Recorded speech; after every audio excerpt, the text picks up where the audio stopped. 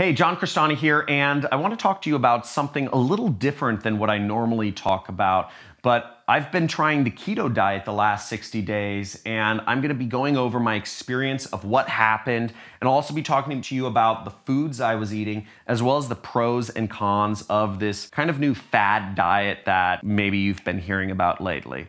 So get strapped in, get ready, let's get into it.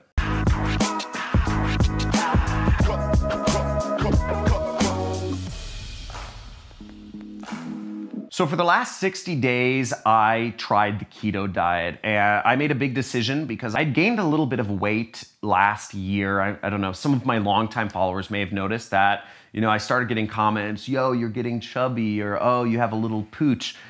which is kind of funny. But I just figured I was gonna try one of the more extreme diets I'd heard of, which was the keto diet. And it's a very restrictive diet if you haven't heard about it. I'm gonna go over the foods in just a second here, but I figured I'd give it a try, give it a shot, and just see what happens. Now, if you don't know what the keto diet is, I kind of put what the good foods you can eat and the stuff you really can't eat on the keto diet on this board. So the way the keto diet works is you eat a lot of fats, okay? The diet is supposed to be, I think, 70% fats, 20% protein, 10% carbs, or something like that. But really, it's just a lot, a lot of fats right here. To really do this is you eat a lot of meats, a lot of nuts, and a lot of veggies, okay? Veggies such as, I don't know if avocado's a veggie, but veggies don't have a lot of anything in them, so they're generally fine to eat. But meat, nuts, and veggies. Whereas the stuff you can't eat on the keto diet, carbs. Carbs is the biggest thing. You just don't eat carbs. And carbs include breads, they include tortillas, they include pastas, they include muffins, they include croissants, they include sugars and fruits. So don't eat apples, don't eat oranges, don't eat mangoes, don't eat anything with sugar in it, M&Ms, etc. Burger buns, fries. It's just super restrictive. You don't eat tortilla chips. There's just so many things you can't eat when you cut out breads and carbs, which is why keto diet has a reputation for being very restrictive. Now, I tried out this diet and frankly, my results after 60 days, I started with a weight of 175 pounds. And just to give you a little bit of perspective, I am 5'10". Okay, so this is what I started the keto diet at, and where I ended up is I dropped two inches in the. No, I actually, I'm joking. Screw that out. Bad joke. But I actually, after two months, I got down to 160 pounds. So two months or 60 days on the keto diet, I lost 15 pounds, which is actually quite incredible. And I'm gonna go over the pros and the cons, and I'll be going over whether I'm continuing the keto diet towards the end of the video. But when I started out the keto diet, what I did was I started out with just cutting out little things here and there. So I'd go get a hamburger, I'd go to Fat Burger or Five Guys, and I would cut out one carb. So I'd cut out fries. And that was very hard for me to cut out fries. I love fries. But I'd still eat the burger with the bun on it. And I'd do that everywhere I went. For instance, I'd go to Chipotle. I love Chipotle. Who's a fan of Chipotle? Type in Chipotle down in the comments if you love Chipotle. I'd go to Chipotle and I'd order a burrito with rice in it, right? I ate the brown rice. And I'd cut out the rice because rice is a carb. And slowly but surely, I started cutting out things. And that was the first week. Then the second week, what I did was I cut out the tortilla. So I'd just have a burrito bowl. Or I'd go to get a burger and I just have a burger on a bed of lettuce, what's called protein style. So I'm just having burger and lettuce leaves on top and bottom. Took me two weeks to really get into the diet where I was just totally cut off and where I actually was in what's called ketosis. What being in ketosis means that your body is actually burning fats for fuel rather than burning carbs for fuel. Now, what you need to know about getting into ketosis is how the body works, how the body fuels itself for energy. So, the first thing the body uses, and again, I'm no like scientist or whatever, but basically, the first thing your body uses for energy is carbs, okay? So, if you eat a lot of carbs, and this is what athletes do, this they'll eat a ton of carbs because carbs provide a lot of energy, but they provide energy bursts and then they also provide downs. So your body uses carbs for energy and stores the fat, stores the protein. But when you cut out carbs out of the equation, like the keto diet where you're eating barely any carbs. The keto diet, it's recommended you eat less than 40 grams of carbs per day. Okay, just to give you an idea, that's one soda.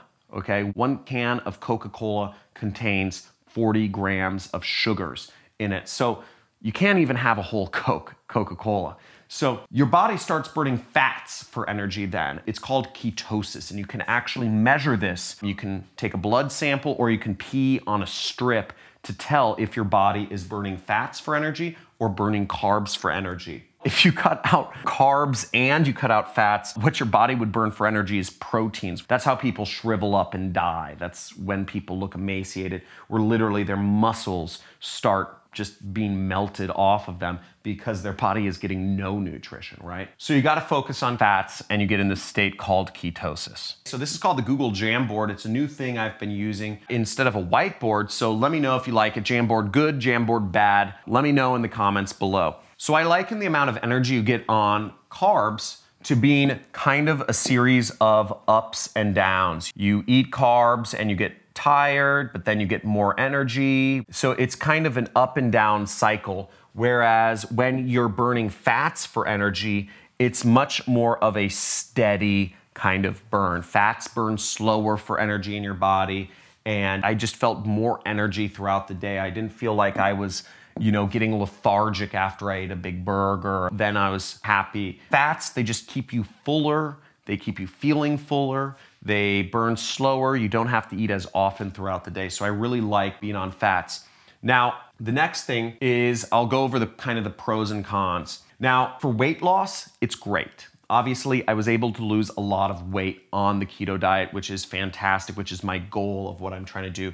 It's also great for focus because of the way that fats burn and because fats are what fuels the brain burning fats has just helped my focus it's helped my mental energy and my overall physical energy as well because i'm going through less dips throughout the day Another reason it helps focus is because it's a restricted diet. I have less things to kind of less variables to worry about. Instead of waking up each morning and thinking, ooh, where am I gonna eat for lunch? Do I want Chinese food? Do I want orange chicken? Do I want a burrito? Do I want this? Now, if I go to Mexican food, I'm eating fajitas, okay? If I go to American food, I'm getting like meatloaf or something. If I go to Chinese food, I'm just getting chicken. It's been good for my focus. I think about food less each day because I'm just meat, nuts, and veggies, just simple straight line. And the other thing I really like about it is that it's measurable. I can tell if I'm in ketosis or not. I can pee on a strip and see if I'm doing the diet right or if I'm doing the diet wrong. Whereas other diets, I feel a little more loosey goosey. You don't know definitively if you're on or off the diet. Now, as for the negatives, the first two weeks of the keto diet kind of suck, okay? Going through a couple days of what is called the keto flu just makes you feel lethargic, okay? It just wasn't fun, you know, just being super lethargic for seemingly no reason. Also, cutting out so many foods that are just normal things that I would eat every day was a bit difficult. It's also very boring. It's a boring diet, just isn't a lot of stuff to eat. As I said, I go to Mexican food now. It's like fajitas. That's what I eat. I eat fajitas and I eat a lot of guacamole. And it's also just so restrictive. You know, not being able to eat fries just kills me. Not being able to eat pizza kills me. Not being able to eat tacos kills me. Not being able to eat chips or Cheerios at night kills me inside. It's just so sad. You know, I actually found myself one day, I bought a piece of pizza for my daughter. You know, I was at the supermarket at Whole Foods and I was like, just gonna have one bite of her pizza. That's it. That won't put me over my 40 gram a day, you know, limit of carbs. And I just wolfed the entire thing down in a matter of seconds. It's hard to stay on. And the other thing about the keto diet is it's expensive. You know, I found that in order to just try to eat keto, you know, I buy a lot of nuts. So check this out. So I eat a lot of macadamia nuts. So I shop at Erewhon now, right? I don't know if anybody else shops at Erewhon, but I shop at Erewhon. Macadamia nuts are pretty expensive, but they're super high in fat. They're a great keto food. And I just been eating a lot of these. I'll eat one or two of these a day, but each of these costs like six bucks each or something like that. Another thing I eat a lot of is I eat a lot of nut butter. Here's some nut butter from RX. And again, these are like two or three dollars per pack. It's like barely any nut butter, but it's made for the keto diet. Another example of something I have a lot of is bulletproof coffee. So bulletproof makes themselves good for the keto diet. This has basically fat in it. It has grass, it has butter in it and MCTs. So they make this for people, you know, on the keto diet. But again, this is expensive, and to have a lot of these is expensive. So I've got a lot of keto friendly stuff, but it's much more expensive shopping for it. Other examples of things I eat include I eat sheep's milk yogurt, specifically plain sheep's milk yogurt. Doesn't have a lot of sugar and it's very high in fat. I'll eat that in the morning. I eat Keto Logic. I have Keto Logic shakes. I supplement my diet with BHBs, which are salts, because on the keto diet, you can get depleted of salts. You know, I take an extra salt supplement in the morning and I'll have protein shakes and I'll scoop a lot of fat in them. So another item I eat is Udo's oil. I'll make myself a protein shake, but I'll put about 60 grams of fat, so which is about three or four tablespoons of just pure omega-3s fats in my protein shake so I get a lot of fat and I get that nice flavor of the protein shake. Macadamia nuts, as I said, I eat fajitas, I eat burgers without the bun, I eat meatloaf, I'll eat chicken pot pie without eating the crust. I have tomato bisque soup from BJ's Brewery, but with extra cream in it. I'll have burrito bowls. Chipotle now has keto friendly burrito bowls. So all of this stuff that's how I've been on the keto diet. Those are my results. If you have any questions for me about how to do the keto diet or my experience, feel free to ask in the comments below. If you'd like to see more videos about what I've been doing to kind of hack my focus or hack my health, leave a comment. Just say more health stuff. I'd be happy to share the things I'm doing. So let me know if this makes you more interested in trying the keto diet, say if you're gonna try it, or if you say, ah, doesn't sound like it's for me, type it in below. I'd love to hear what your thoughts are. Thanks for watching. Have a good day.